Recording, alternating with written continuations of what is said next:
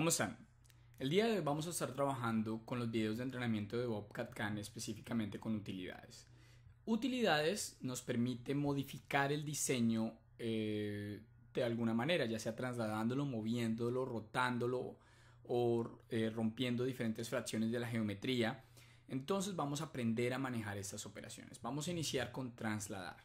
Para esto vamos a diseñar eh, en el diseño 3D un cilindro y lo vamos a localizar en esta posición. Este cilindro eh, nosotros lo podemos mover o localizar a cualquier posición. La manera que podemos hacerlo es a través de utilidades trasladar. Trasladar nos permite seleccionar una geometría o una serie de varias geometrías, no, tiene que ser un solo elemento, y nos permite arrastrar la geometría, moverla específicamente eh, ciertas coordenadas o crear copias desde esta. Entonces, si yo tengo en estos momentos eh, mi cilindro acá, yo puedo seleccionar el eje X y arrastrarlo la cantidad de distancia que yo necesite, ya sea sobre el eje X, que es el eje que está seleccionado, o sobre el eje Y, que es el siguiente eje que tengo acá. O podemos también arrastrarlo sobre el eje Z, que es el eje que tenemos en esta área. O si prefiero, puedo hacerlo en los tres ejes simultáneos utilizando coordenadas. ¿Cómo haría esa función? Sería la distancia de traslado, le pongo 10, 10 y 10. Al localizar la, distancia de traslado que yo quiero eh, proponer, entonces desde el centro de la geometría vamos a decirle trasladar esta geometría una distancia de 10, 10 y 10. Al hacer esto, el producto lo que va a hacer es trasladar a través de coordenadas. Entonces recordemos que podemos hacerlo a través de coordenadas o podemos hacerlo manualmente. Al darle un clic a este punto, que es el punto central de la geometría, yo puedo localizar esta geometría en cualquier posición. ¿Por qué esto es importante? Porque así como está localizada en 0, 0, yo podría tener en cualquier área un punto diseñado. Ahora, yo quiero trasladar esta geometría a este punto. Vamos a utilidades, trasladar, seleccionamos la geometría y al presionar confirmar con la barra espaciadora, el software nos muestra la posición inicial de, rotación. Normalmente está localizada aquí en 0, 0 y va a estar localizada en el centro de la pieza.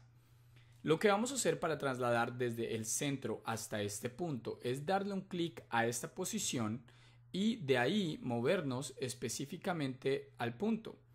Al encontrar el punto, simplemente dándole un clic ahí, el software nos localiza o nos posiciona la pieza en este punto. Entonces, podemos hacerlo ingresando las coordenadas aquí o moviéndolo a un punto final. ¿Ok? Ahora, por defecto, por predeterminado, el software selecciona el centro de la geometría como mi punto inicial, pero mi punto inicial puede ser cualquier otra geometría o geometría interna del cilindro. Vamos a repetir este proceso, vamos a lo que es la función de utilidades, trasladar y vamos a seleccionar este cilindro. Ahora, vamos a dejar la posición de inicio 000, pero vamos a modificar el punto de inicio del traslado. No quiero que traslademos desde el centro de la pieza, sino desde este borde de la pieza. Significa que el punto de origen de traslado va a ser este punto aquí en la parte superior derecha. Por lo tanto, cuando yo seleccione mi punto final, el cual va a ser este, el software va a movilizar mi cilindro desde la posición que yo definí a el punto que yo definí. ¿Sí? Ahora es importante que yo sepan que se puede mezclar todo. Se puede mezclar el traslado a través de arrastrar con coordenadas finales. Podemos mezclar de un punto a una coordenada o de una coordenada a un punto o desde el centro de la pieza a un punto. O sea, todas se pueden modificar. La manera que lo hacemos es que cuando presionamos trasladar definimos si el punto central o el inicio lo queremos en el centro de la pieza o yo definiendo una coordenada o un punto real o un punto existente. Y después de esto se selecciona el punto final o se definen las coordenadas finales a las cuales queremos encontrarnos. Ahora, otra de las cosas que se permite hacer utilizando la función de, de trasladar es que cuando yo voy aquí a seleccionar geometría, también puedo crear diferentes copias para crear secuencias de geometría. ¿Cómo funciona esto? Más, o menos vamos a poner que queremos una distancia de 15 milímetros hacia la derecha, no, perdón, 60 milímetros hacia la derecha, eso, y vamos a hacer 10 copias. Al hacer esto, el producto va a crear 10 copias, el software va a crear 10 copias de este cilindro. Ahora, yo quiero estas mismas copias sobre el eje Y. Entonces, vengo acá y le digo al software que quiero una distancia de 60 sobre el eje Y. Lo que hace el software es hacer una secuencia sobre los dos elementos. ¿Ok?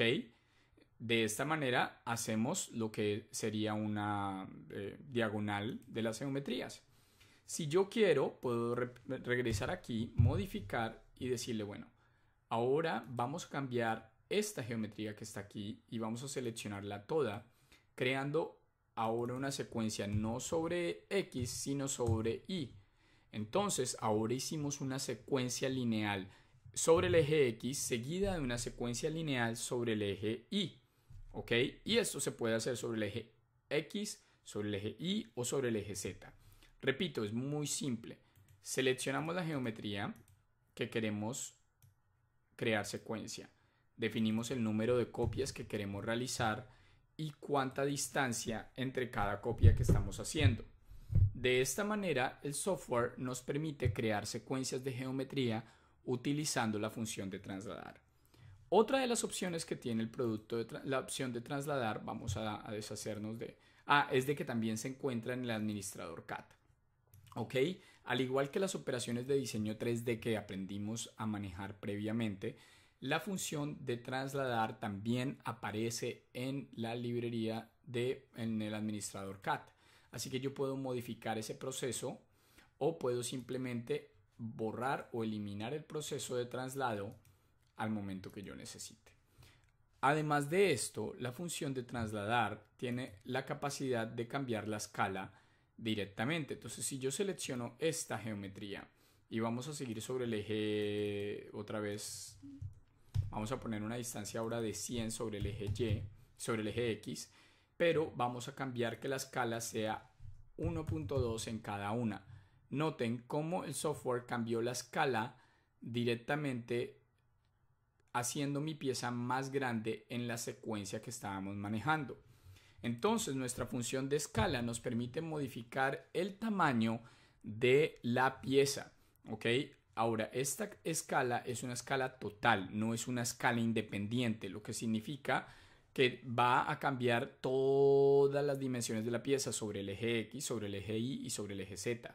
Mientras que también aquí en utilidades hay una opción de escala independiente, la cual, que se encuentra aquí en la función de escala, la cual nos permite modificar la escala de cada eje por separado. Entonces, para hacer un resumen rápido de lo que la función de trasladar puede hacer, eh, nos permite mover la pieza, eliminemos estas funciones, nos permite mover la pieza manualmente a cualquier posición, nos permite localizarla en un punto existente, nos permite movernos de un punto a otro punto, de un punto a una coordenada, generar copias de la geometría y además de generar copias de la geometría, cambiar la escala de la geometría mientras se va realizando el diseño. Espero que haya quedado claro todas las opciones o todas las ventajas que tiene nuestra función de trasladar. Nos permite modificar la geometría tanto en su tamaño como en su posición, como también el número de, de entidades que queremos que se realicen. ¿Ok? Muchas gracias. No olviden suscribirse al canal. Hasta luego.